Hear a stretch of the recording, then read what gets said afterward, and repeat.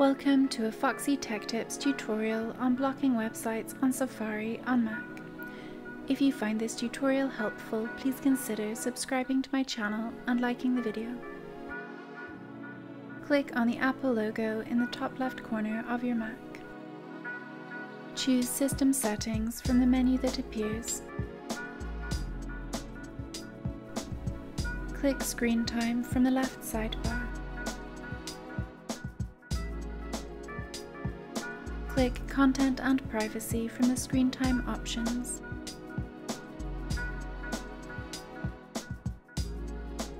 Turn on the toggle in the top right corner.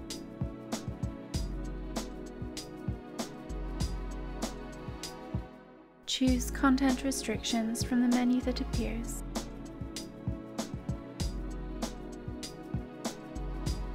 To the right of Access to Web Content, click on Unrestricted Access and change it to Limit Adult Websites.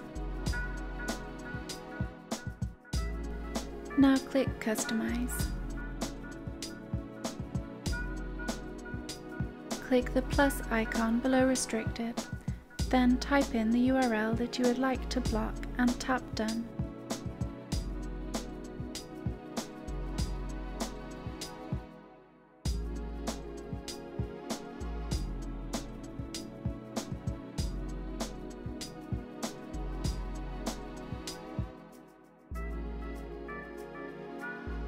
Tap Done on the next two pages also.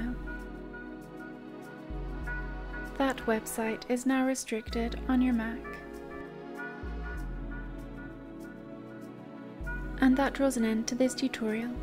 Please like the video if you found it helpful and subscribe to Foxy Tech Tips for more Mac tips and tricks.